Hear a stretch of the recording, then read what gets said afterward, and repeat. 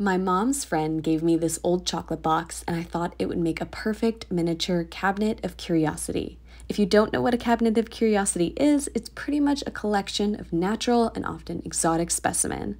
A lot of them contain bugs and butterflies, so I thought a beetle trapped in amber would go perfectly.